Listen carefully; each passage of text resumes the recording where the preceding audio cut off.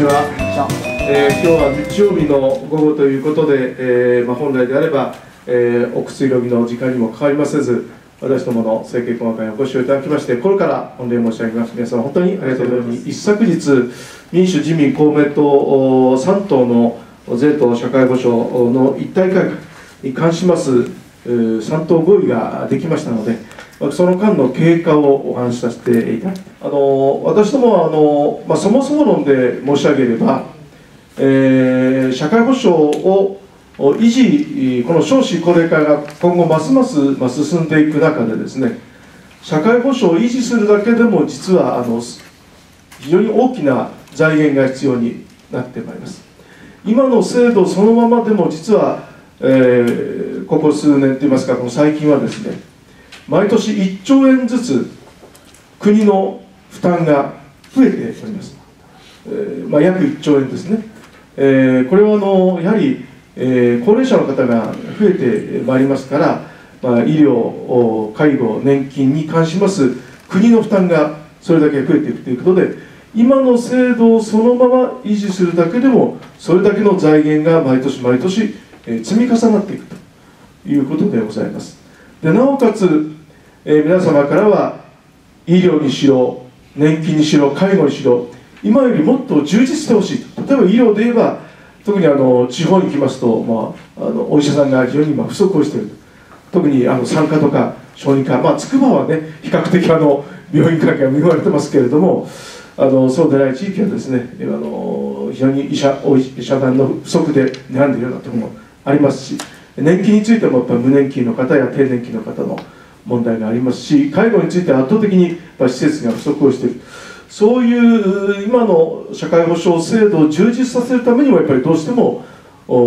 財源が必要になっているということで、まあ、今の社会保障制度を維持させるなおかつ充実させるためにはどうしてもあの財源が必要だそのために、えー、消費税を含む税制の抜本改革はやむを得ない、まあ、必要であるということが私どものそもそもの考え方でございます。でこれは実は自公政権時代に自民党さんと一緒にまとめた、えー、所得税法の改正の不足104条。ここはあの野田総理がこの、えー、条文をよく引いてですねあの消費税引き上げの根拠にしているんですが、えー、その不足104条というところにそういった趣旨のことがあの盛り込まれております。ただ公明党としてはですね単にその消費税を上げるっていうことでは国民の皆様のご理解ご納得いただけませんからその不足104条にも5つの条件を盛り込んでおりまして、えー、この5条件をやはりきちんとクリアすることがあの前提だということで、えー、申し上げてまいりました。それは一つは、まあ、今回の目的はあくまでも社会保障をどうするかということでありますから社会保障改革を具体化する社会保障の全体像を示すということが第一。2番目には景気の改革。3番目には行政改革。4番目には、えー、消費税の使い道や社会保障に限定をする。で5番目には消費税のみならずいろんな税制の改革で社会保障の財源を生み出す、まあ、この5つが条件だというふうに言って、えー、まいりました。でなおかつ、まあ、今回政府が出された法案を見ますとその中にやっぱり、えー、不足している部分がありまして、えー、特にあの消費税については所得の低い方ほど負担が重くなるといういわゆる逆進性の問題がありますから、まあ、それをきちんとやらなければいけないと。いうことでこの低所得者対策逆進性対策、まあ、これも付け加えまして、まあ、我々5条件プラス低所得者対策これがきちんとあのクリアされることが重要だということでこれまでも、まあ、国会の質疑等で、えー、指摘をしてきたわけでございます。で当初は、まあ、この5条件の、まあ、当初の入り口であります社会保障の全体像というところでなかなか、えー、政府民主党がクリアにしないものですから、えー、この与野党協議になかなか入れないということで申し上げておったんでありますけれども、えー、民主党と自民党でこの協議が進むと。こういうことになりましてこの民主自民だけでこの協議を任せておくとですねともすれば社会保障の方の議論が十分になされないまま増税だけ決められるということになりかねない。あるいは我々が言ってますこの5条件ということがですね十分議論されないままこの消費税の引き上げだけが決めかれ、えー、決まるということになりかねないと、まあ、こういうことであえて我々はこの協議の場に入っていってですね公明党の主張をきちんと貫いていこうと。いうことでこの3党協議に、えー、入らさせていただいたということで、まあ、この1週間余り、まあ、連日のように協議を積み重ねていたということでございます。であの私の方はあの社会保障の分野の交渉担当者ということで、えー、協議をさせていただきましたがあの、まあ、社会保障ではあの、まあ、全体像を示すと社会保障改革の具体像を示すということをずっと言ってまいりましたで特に我々があの問題にしてきましたのは民主党さんは野党時代から全ての年金制度を一元化する。また最低保障年金7万円を全額消費税でやるという年金改革もずっと言ってきたわけですね。で、まあ、それをがどうなってるんだということをずっと言ってまいりました、えー、年金の将来像の議論をきちんとやろう。と、えー、ところがあの2月にあの民主党がこの新年金改革案の試算試みの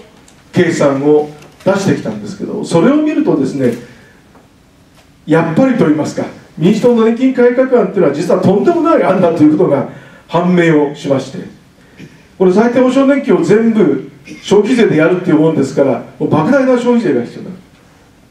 民主党の案ですと、まあ、今回10%に引き上げようとしてますがそれとは別に7.1%の消費税が必要になると、まあ、こういう案になっていましたしまた今はあの基礎年金国民年金というのはあの年金受け取っている方は全員に行き渡ってますけれども、まあ、民主党の最低保障年金をこう全員に行き渡らせようとするとあまりにも消費税率が多くなってしまうために一定年収のところで減り始めましてある年収の方からは支給しないとなってます。そうしますと2月に示された案では生涯平均年収が420万円以下の方は今より年金の受け取り額が少なくなってしまうという案になってました。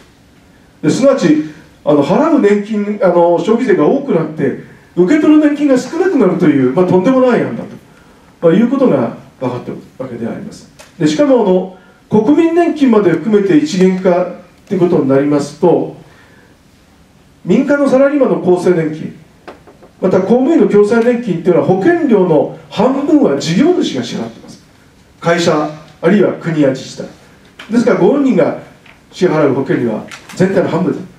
ところが国民年金の方は事業主っていうのは自分以外にいませんから。ですから全額自分が払わなきゃいけない。となるとですねとんでもない高額の保険料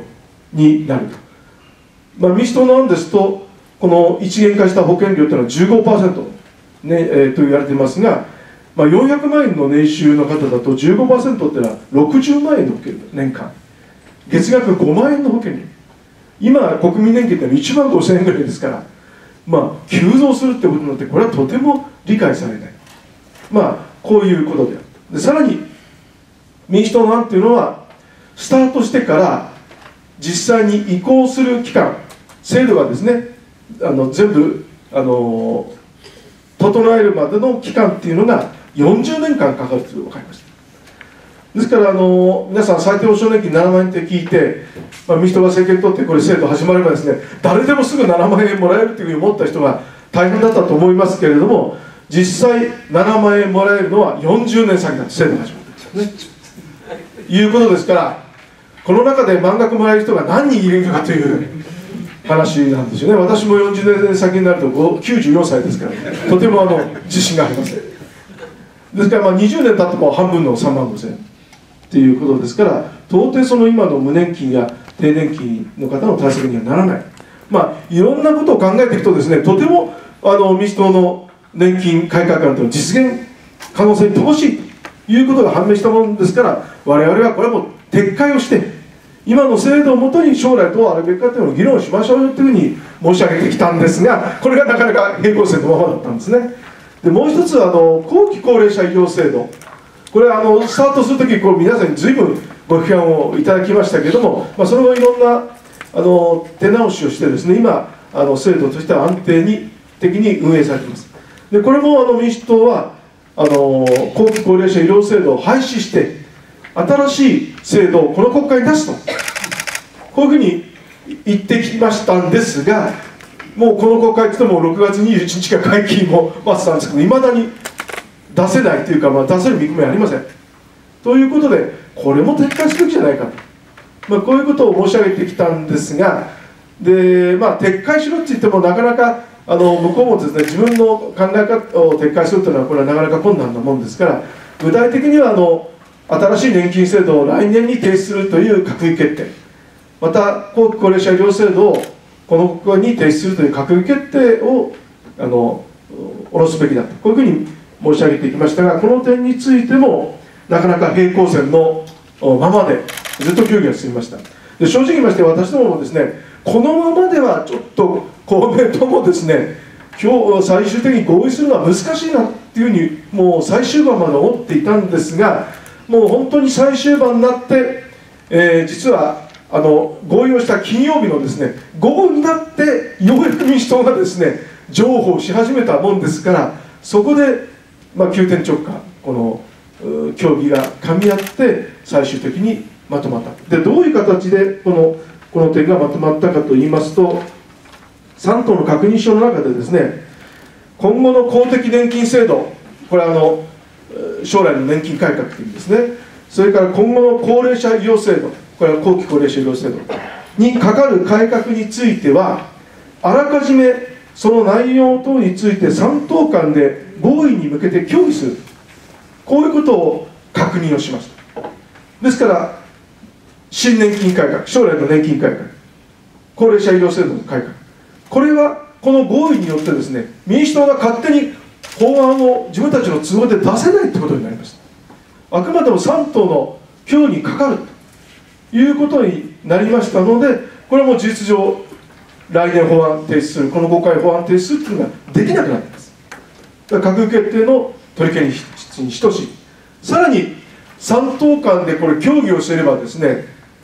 ま、この3党で合意をしなければまとまりません。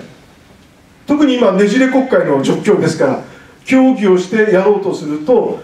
合意合意がやらなければ法律として成立をしませんから。ですからこの将来の年金改革高齢者医療制度を3党間で協議合意に向けて協議をしようということ自体ですね最終的に民主党の案ではまとまらないっていうことが自然となっていくと。いうことでこれは事実上民主党のマニフェストの撤回に等しいと、まあ、こういう状況になりまして私どもとしては我々が主張したことがあのこれで担保されたということでまずこの社会保障の全体像にかかる問題はですね大きくあのクリアされたと思っています。でその他にあの、まあ、将来あの、まあ、今回、えー、の一体改革の中では後ほど申し上げますけど当面の年金改革と子育て支援については具体的に法律が出てましてそれであの確認をしております。それであの今申し上げた将来の年金改革とかあるいはあの高齢者医療のについては、まあ、3党間で協議をする。でさらにその他、まあ、いろんな点について、まあ、自民党さんからの提案でですね、えー、社会保障の制度改革国民会議っていうのを作ってそこでいろいろ議論をしましょう。ということになりました。でこの国民会議のですね、えー、結論をきちんと、えー、やった上でですねこの社会保障、えー、国民会議の議論を経て、えー、この社会保障制度の改革を推進するこのことが消費税引き上げの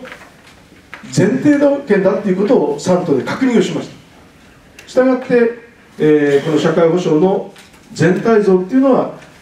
消費税引き上げの前に確実にやるということが確認をできましたので、えー、この社会保障に関しましては私どもの主張が貫かれたとこういうふうに考えているところでございます。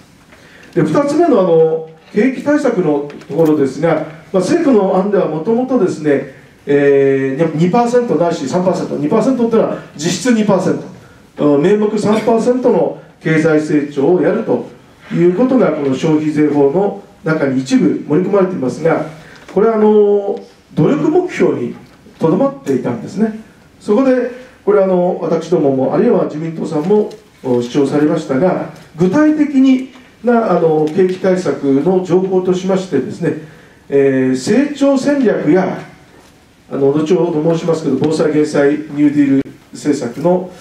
としましてですね事前防災および減災等に資する分野に資金を重点的に配分することなど成長に向けた施策を検討する。ということで、まあ、私どもが主張しております。防災・減災・ニューディール政策も実現に向けての布石が打たれた、えー、いうことで、まあ、この経済対策についてもあの単なる努力目標だけでなくきちんと具体的な政策を検討する。いうことが盛り込まれたということで、えー、これもあの前進が図られたというふうに考えています。で3つ目の行政改革ですが実はあの今回議論したあの社会保障のところと税のところでは行革の議論をちょっと扱う分野がなかったもんですからこれはあのお、まあ、別途のところで議論をしなければならないと考えています。特にあの国会議員の定数の削減。これはまだあの決着をついておりません。これはあの幹事長間の協議で、えー、今断続的に行われておりますが先日あの民主党の越石幹事長の方から、えー、小選挙区は5つ減らすで比例区は40減らすで比例区については今まで11ブロックでやってたのを全国1つのブロックにまとめちゃうで少数政党に配慮して一部その比例の配分で少数政党に配慮するような規定を設ける、まあ、こういう案が示されたところでございます、まあ、この案をベースにあの具体的な定数削減ということを、まあ、今後議論していくということになっているところでございます。で4つ目のあの消費税の使い道を社会保障に限定するこれはもともとの政府案で盛り込まれておりますのでこれ自身があのクリアされていると思っています。で最後のあの税制全体の、えー、改革であるということで、まあ、政府の当初の案でも消費税のみならず所得税と相続税一部見直しの改正になっていましたしかし私どもあの所得税についてはですねあの不十分だということで主張をしておりましたが実は自民党さんがですね全く逆の主張をされましてですねもう所得税の改革というのは当面必要ない。とあるいは相続税の改革も必要ない、まあ、こういうことの主張だったもんですから、まあ、あの民主自民公明で全くあの方向の違う、まあ、民主と公明はある程度報告は方向は一緒なんですけどその程度が違うということなんですがいうことでこの短期間の間でですねとてもそのまとまらないということから、まあ、今回の税法の中からこれを除いて、まあ、年末の税制改革で改めて議論しようというふうにいたしました。しかしながらあのこの所得税については今回私どもが公明党が提案したことを踏まえて検討するということになっておりますので、まあ、今回この税制全体っていうところはあの、まあ、年末に持ち越しになりましたけどもこれは、えー、我々の主張を踏まえてぜひこれは実現をしていきたい、まあ、こういうふうに考えております。で最後のあの消費税自体の低所得者対策が、ま、どうなっているかということでございますけれどもおこれについては当初の政府の案ではですねまあやるとは書いてあったんですが本当にやるかどうかっていうのは、まあ、政府にも任されているような状況で具体的にどういうふうにやるのかということが実際引き上げまでですねちゃんとやれるかどうかっていうことがあの担保されておりませんでした。で自民党さんなんかあの協議の途中でですね、えー、これはあのもう1回限りのもう小さなことをちょこっとやればいいんだっていうようなことを言ってましてこの低所得者対策っていうのは最後まであの議論になったという。ことですであのこのそもそも消費税の逆進性対策低所得者対策っていうのは2通りあります。で1つはヨーロッパでやっていますように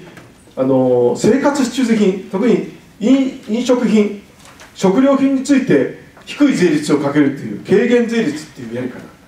が一つあります。でもう一つは今回政府がやろうとしたら給付付き税額控除といいまして消費税を上げた分の一部を皆さんに戻すと。で税金払ってる人は減税という形で。減税あのあんまり払ってない方あるいは払ってない方については現金給付という形であの戻すと。このまあ2通りあるんですね。で政府はもうあの軽減税率政府民主党軽減税率は全く実はやる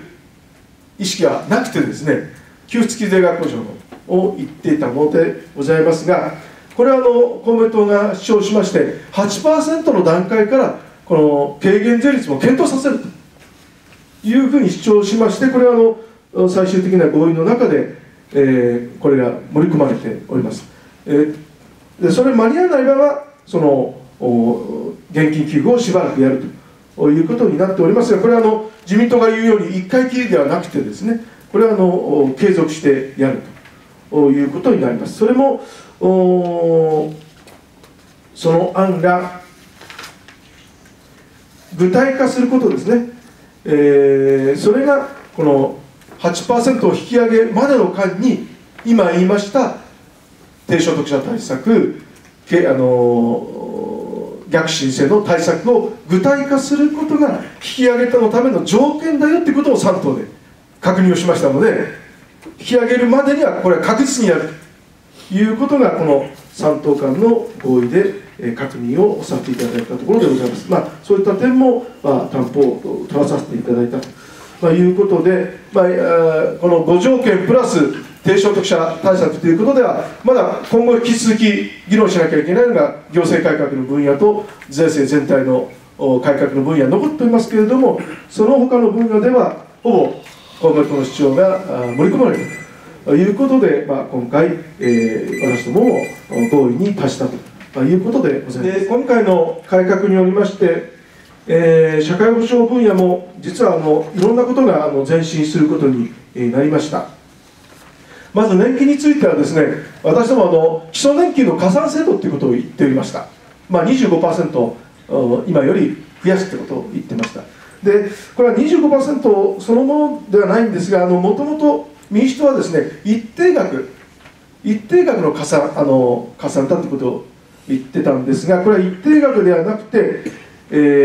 ー、保険料を納付した実績に応じてですから比例的に、えー、増やしていく